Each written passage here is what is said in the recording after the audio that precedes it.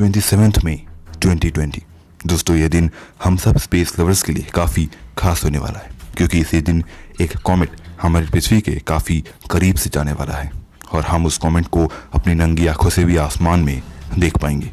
पर वीडियो को शुरू करने से पहले मैं ये बता दूँ कॉमेट जो होते हैं, वो एस्टेरॉयड से काफ़ी छोटे होते हैं। ये कॉमेट हमारी पृथ्वी से टकरा भी जाते हैं तो इससे हमारी पृथ्वी को कोई भी नुकसान नहीं होगा। पर हम जिस कमेंट की बात कर रहे हैं, वो कमेंट हमारी पृथ्वी से नहीं टकराने वाला है। उस कमेंट का नाम है कॉमेट स्वान जिसका पूरा नाम है S less twenty twenty F eight स्वेन दोस्तों, ये एक नॉन पीरियडिक कमेंट है। नॉन पीरियडिक कमेंट का मतलब इसका कोई भी ऑर्बिटल पीरियड नहीं है। हमें पता नहीं है कि ये एस्टेरॉयड फिर से कब हमारी पृथ्वी के करीब आएगा। पिछली बार इसे साल 2009 में देखा गया था। दोस्तों, इस कमेंट की एक खास बात है।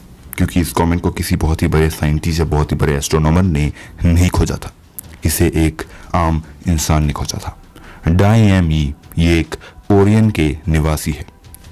26 मार्च 2009 में ये अपने निकॉन के 5D कैमरा के साथ रात के आसमान की तस्वीरें खींच रहे थे।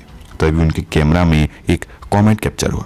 जब इस कमेंट की तस्वीर बहुत ही ज़्यादा वायरल हुई, तब नासा ने इस कमेंट का नाम रखा कॉमेट स्वैन और ये एक ऐसा पहला कमेंट बन गया, जिसे एक कोरियन टीनेजर ने खोजा था।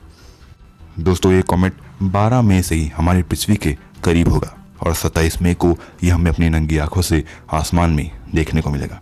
दोस्तों, शायद इस कमेंट को हम 29 मई तक भी आसमान में देख पाएँगे। दोस्तों 2020 का मई महीना हम कॉस्मो लवर्स के लिए काफ़ी खास होने वाला है। 16 मई 2020 में एक बहुत ही कमाल का और एक रेयर एस्ट्रोनॉमिकल इवेंट होने वाला है।